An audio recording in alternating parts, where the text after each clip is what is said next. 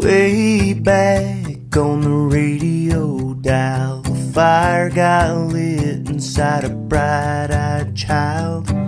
Every note just wrapped around his soul. From steel guitars to Memphis, all the way to rock and roll.